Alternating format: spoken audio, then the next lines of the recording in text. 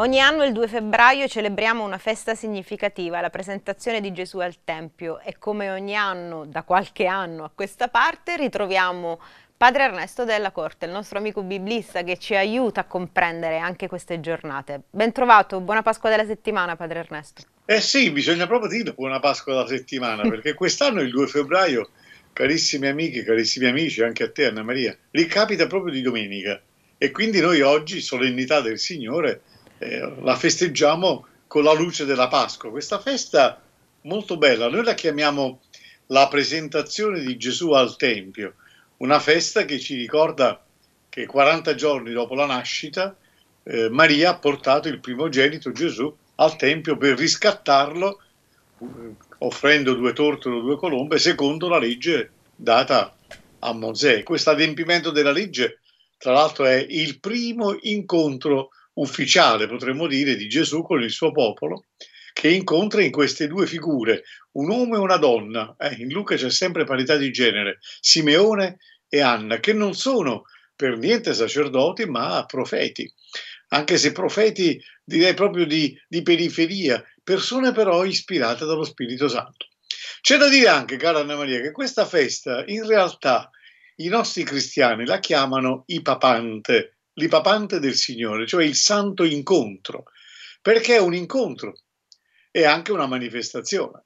Maria entra nel Tempio per manifestare al mondo colui che ha dato la legge e la porta a compimento. Gesù è colui che porta a compimento la legge e Maria accompagna il figlio nella sua prima offerta al padre. Questo è veramente bello. È l'incontro, il santo incontro tra il figlio unigenito e il padre. Questa festa è molto antica, è attestata già nel IV secolo a Gerusalemme, poi è passata nelle liturgie occidentali con la caratteristica processione delle candele che faremo anche noi oggi. E poi da questa festa trae origine il terzo cantico che ogni giorno noi recitiamo, questo a compieta, è il cantico del vecchio Simeone, il quale prendendo tra le braccia il piccolo Gesù ringrazia Dio e riconosce in questo bambino luce per la rivelazione alle genti e la gloria del popolo di Israele. L'episodio è davvero molto importante perché Luca, nei Vangeli dell'infanzia, fa teologia. Qui ci sono alcuni temi veramente importanti. Innanzitutto c'è l'obbedienza alla legge, la centralità della città santa, del Tempio, la presenza dello Spirito, che poi è il grande protagonista della scena, e il compimento di tutte le promesse. Gesù è colui che era atteso, e lui è la consolazione di Israele, ma anche dei gentili, per cui al centro poi della scena troviamo questi due profeti, non due sacerdoti, lo ribadisco, Simeone e Anna. Stranamente Luca non racconta di un'accoglienza fatta dai sacerdoti. Gesù entra nel Tempio già come il figlio di Dio, lui è il figlio di Dio, non ha bisogno nemmeno del riscatto e nemmeno Maria ha bisogno di purificarsi perché la legge diceva che la donna che aveva partorito un maschio doveva purificarsi 40 giorni dopo. Lei è la checaritomene, la trasformata dalla grazia, quindi molto bella questa parità di genere, Simeone un uomo e Anna una donna, anche se caratterizzati in modo molto diverso. Simeone viene definito giusto, pio, mosso dallo spirito. Lui è il destinatario del dono della rivelazione. Ha aspettato per anni di vedere eh, davvero colui che è la consolazione di Israele. Dall'altra parte poi c'è Anna, eh, che è una presenza femminile, una sorta di donna che vive quasi di nascosto nell'aria del Tempio e che pure aspettava davvero la venuta del Signore. Luca veramente meraviglioso, mette al centro di quello che per noi è il quarto mistero gaudioso, queste parole dei due profeti. E attraverso le parole di Simeone e Anna, in realtà, cari amiche e cari amici, viene presentata tutta la vicenda di Gesù. Quindi c'è davvero tutta la, dire, la teologia su chi è questo bambino che è nato santo e che è la presenza stessa di Dio. Lui è il Tempio del Padre, lui nella sua persona c'è l'incontro con il Padre. Per cui l'offerta di Gesù al Signore viene raccontata un po' come è successo sul modello di Samuele, no? Luca insiste molto su questa figura di Simeone e di Anna. La figura di Simeone è molto commovente.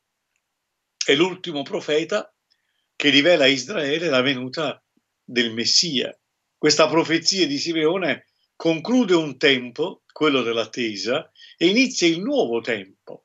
Non c'è più il tempo dell'attesa, ma c'è il tempo nuovo del compimento. Ecco perché Simeone, un po' come Giovanni, si colloca nel passaggio tra l'Antico e il Nuovo Testamento.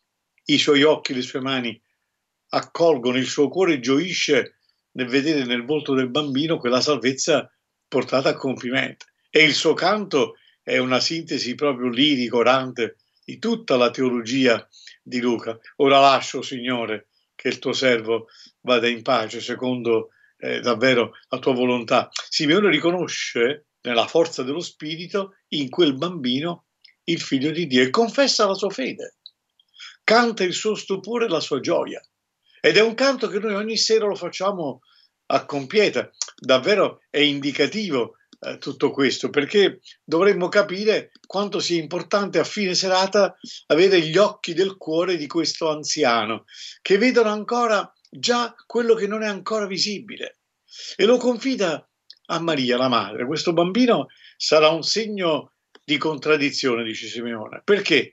Perché siano svelati i pensieri di, molto, di molti cuori. Chi lo accoglie avrà la resurrezione di vita, chi lo rifiuta cadrà inevitabilmente nelle maglie malefiche del mare. E anche a Maria profetizza, a te una spada trafiggerà l'anima. Chi di noi non ricorda queste statue di Maria vestita di nero con sette spade nel cuore? Cosa vuol dire? Beh, secondo un'opinione diffusa da secoli, quella spada predetta da Simeone a Maria sarebbe il dolore acerbissimo che la Vergine provò durante la passione e la morte del figlio. Ma al di là di questa interpretazione più antica, non dobbiamo dimenticare che la spada è nella Bibbia il simbolo della parola. Per cui bisogna dire che Maria in qualunque ora ha seguito il figlio, anche nella passione, è la donna che accoglie sempre quella parola, quella volontà di Dio sulla propria persona. Lei è la madre del Messia, la madre di Gesù, la madre del Salvatore, ma anche la madre di Dio. Per cui è una donna che ha sempre aperto il cuore alla parola e noi dovremmo come lei desiderare di consegnare tutta la nostra esistenza al Signore. Ecco perché è interessante che poi più tardi, quando il bambino avrà 12 anni, i saggi del Tempio, i dottori si meraviglieranno della sapienza di questo bambino, ma lui è il figlio di Dio. E quando Gesù rivelerà alla fine della sua missione eh, qual è veramente tutto lo scopo, lui è il Tempio nel quale ognuno di noi può incontrare il Padre. E Luca presenta anche questa figura femminile come Simeone. Potremmo dire che questi due personaggi rappresentano quelli che la Bibbia chiama Hanawim Adonai, i poveri del Signore. È una donna che ha sempre vissuto arrangiandosi nell'area sacra del Tempio. La vorrei quasi definire bonariamente una vecchia straccione che, si, che dorme sotto qualche portico, gira con le sue piccole cose, è lì da 60 anni è rimasta vedova dopo sette anni di matrimonio e ora sta da tanti anni nel Tempio, prega e digiuna aspettando colui che è la consolazione di Israele. Bella questa indicazione. Serve Dio giorno e notte, quasi di nascosto, perché agli occhi dei potenti delle guide di Israele lei non è nessuno, ma nella forza dello Spirito Anna che significa forza di Dio, sa leggere i segni dei tempi e anche il progetto di Dio. Lei fa parte di quel popolo che aspettava. Anna è profetessa proprio perché parla del bambino, si rende conto che quel bambino che può essere insignificante agli occhi del mondo, in realtà è il figlio di Dio, è la presenza vera di Dio in mezzo al suo popolo. Ecco perché poi Luca dirà il bambino cresceva e si fortificava. Quindi oggi, celebrando questa festa, noi cristiani siamo condotti a ricordare di dover riconoscere il Signore, la sua missione di salvezza. Dovremmo fare nostra la professione di fede di Simeone col cantico e la forza di fede di Anna. Per cui davvero questo quarto mistero gaudioso, Gesù è il santo, appartiene a Dio, è il suo figlio, e la presenza in mezzo a noi della presenza del Padre. E noi come Simeone e Anna dobbiamo alzare un canto di lode al Signore perché davvero abbiamo compreso che Lui ci ha aperto gli occhi, la forza dello Spirito, per accogliere la meraviglia del Signore. Ecco allora che il nostro Salmo oggi ci invita, sollevate porti i vostri archi, spalancatevi, soglie immortali, fate entrare il Re della Gloria. Cristo ancora una volta vuole quel Natale intermedio, quella nascita intermedia, vuole regnare nei nostri cuori. E diamo testimonianza, continuiamo a dare testimonianza in questa luce che oggi si fa più forte, la luce di queste candele, dobbiamo impegnarci a diventare noi stessi luce per essere trasparenti nella nostra vita. Dovremmo andare incontro al Signore che ci viene incontro. Tornano tutti quei motivi che abbiamo visto nell'Avvento, nel Natale e quando abbiamo definito che effettivamente il Natale è un incontro, la Pasqua è un incontro, l'Epifania è un incontro, anche oggi l'Ipapante è un santo incontro. Dio continua a venirci incontro non solo per farci comprendere il progetto salvifico del Padre, ma perché ognuno di noi lo accolga e si umanizzi. Abbiamo proprio bisogno di un mondo dove si viva più in pace e dove veramente possiamo prosperare gli uni accanto agli altri, cercando di condividere ciò che siamo e ciò che abbiamo. Grazie Padre Ernesto, come sempre è molto profondo il nostro incontro e ci aiuta anche a riflettere durante la settimana. Vorrei alla fine della nostra trasmissione proprio brevemente salutare tutte le amiche e gli amici, in particolare quelli che mi hanno chiamato da Crotone, le care amiche sorelle carmelitane, eh, Lanfranco, questo anziano signore che ha chiesto preghiere e che ci segue, e insieme a lui soprattutto gli anziani e gli ammalati che ci seguono. Siete nel nostro cuore e nella nostra preghiera. E quindi da parte nostra, di tutto lo staff di Conversazioni Bibliche, è assicurata che vi ricordiamo alla mensa del Signore e nella forza dello Spirito vi raggiunga il suo amore. Shalom. Shalom.